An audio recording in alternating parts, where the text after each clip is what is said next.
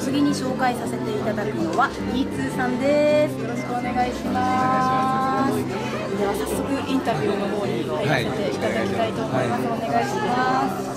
はい、それでは E2 さんのブランドコンセプトを教えていただきたいんですけれども。うがまずこの絵本から、はい。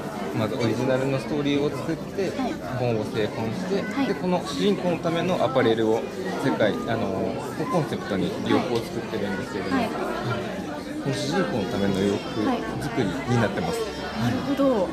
ちなみに物語は作られてるんですか？僕じゃなくって兄弟でブランドをやってまして、なるほど。はい。僕の兄がなるほど、はいお兄さんデザイがンはい作られそて、うなんですよ。はい。でで僕はもう販売のみで。あなるほど。わかりました。すごい絵本自体も作り込まれてますね。そうなんです。これも製本までやってるようになってるんで、へー。ちなみにこの物語っていうのはどこかでこう読むこととかできるんですか？一応うちのウェブショップの方で、はい。あの見ることができるので、あそうなんですか、小説っていうか絵本みたいな絵本感じで。な感じです、はい。絵本でそのままあ。ペラッとめくれるような感じでウェブで見れるようになってなってるので、へえすごいちょっと興味深いっていうかなんかいろんな楽しみがあっていいですね洋服の中に。ぜひ見てみてください。はい。見させていただきます。ありがとうございます。じゃあ次にブランド名の由来をお伺いしてもよろしいですか？あのな名前の名字がそはい。のままニーズになっていて、はい。そのままブランド名にしてるんですよ。あ。で兄弟でやってるっていうのもあるので、そのまま名字をブランド名にしてますね。すごい覚えやすくていいですね。もうニーツーさんのニーツさんって。そうなんです。で一つでもうそうなんです。2つ分覚えられてしまうって。いうよろしくお願いします。あはいこちらこそありがとうございます。こちらのブランドの一押しの作品があれば教えていただきたいんですけど、こちらになるんですけれども、もう一個のテーマというのが、はい。現代和服がテーマになっていまして、ちょっと着物っぽい形なんですけれども、あーそれを現代風に着れるような形になってまして、はい、すごい浴衣みたいな。感じですね。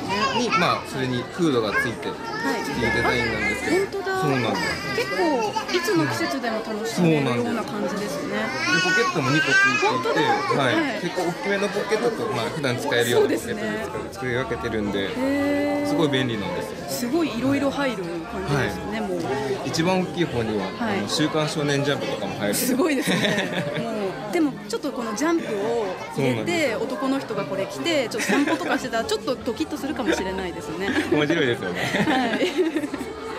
じゃあそうですね。本当にひ左前に着るとかそういう感じのことはなくそういう感じじゃなくはて、もう本当に着流しっていうか、羽織みたいな感じでそのままさらってきていただきたくて、いうん。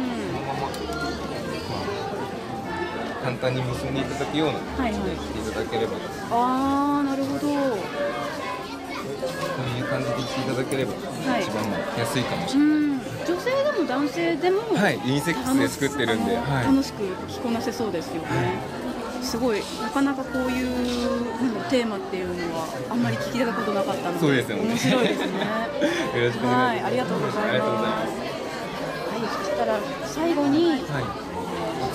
ブランドの注目してもらいたいものとかがあれば教えてもうやっぱりこの商品がやっぱり、はい。まあこれをまあこのデザインを世に出していきたいっていうのが私たちの目標でもあるんで、はい。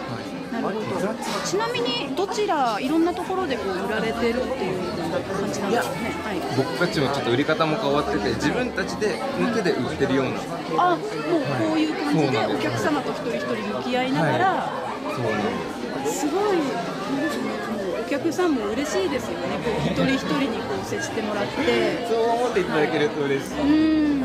じゃあ本当にやっぱ逆にその着ている姿も目の前で毎回見れるからすごい嬉しいですよね、そうですね。そうなんですね。じゃあまあ、これからもこういった会場で手売りしていくような感じ機で会があればはい。わかりました。ありがとうございます。今回紹介させていただいたのは、ニーツーさんでした。ありがとうございます。ありがとうございました。